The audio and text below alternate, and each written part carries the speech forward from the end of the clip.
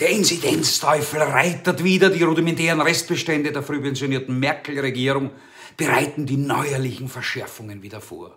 Der Deutsche gehört in den Kerker, in das virologische Wintergefängnis, denn die Zahlen steigen, die Intensivbetten werden wieder einmal knapp. Das gesamte Volk sieht sich mit dem Untergang konfrontiert.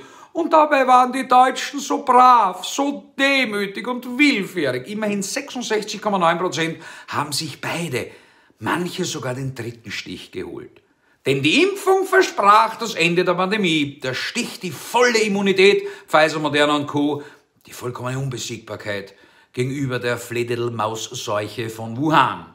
Der Stich sei ein Akt der Solidarität gegenüber der gesamten Bevölkerung, sprach die Politik. Und heute wissen wir, auch die Geimpften geben das Virus weiter, auch die Unbesiegbaren liegen im Spital, auch die Vollimmunisierten brauchen ein Intensivbett.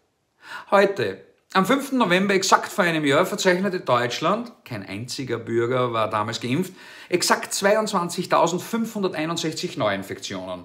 Nun ein Jahr und 55,5 Millionen geimpfter Deutscher später verzeichnen die virologischen Zentralanstalten der Angst und Panik exakt 33.949 Neuinfizierte. Für die mathematisch Unbegabten in der Politik bedeutet das, dass trotz des Allheilmittels sich mehr als 10.000 Deutsche mehr allein am heutigen Tag Infizierten als vor einem Jahr. Die Delta-Variante sei dafür verantwortlich, machen die Präventionisten Spahn, Merkel und Co. den ersten Schuldigen des Debakels aus. Die Delta-Variante sei hinterhältig. Die sei der wahre Grund für die Unberechenbarkeit der Pandemie. Daher sei der dritte Stich notwendig und alle, die bereits zweimal ihre nackten Arme unter Zwang ausstreckten, wären, wie überraschend, gesundheitspolitische Bürger der zweiten Klasse. Wenige Wochen noch und die einst Vollimmunisierten sind auf demselben Stand wie die Ungeimpften.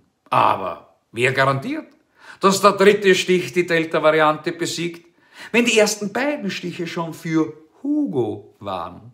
Ja, das ewige Viren-Mikado. Keiner kennt sich aus, die Wissenschaft relativiert sich wöchentlich, selbst die Politik widerspricht sich täglich. Aus Schaden wird man klug, möchte man meinen, und dennoch macht die Politik auch nun wieder denselben Fehler. Man setzt auf das Wunder Lockdown, auf Zwang und Bevormundung. Dabei hätte ein gesundes Gesundheitswesen vollkommen ausgereicht.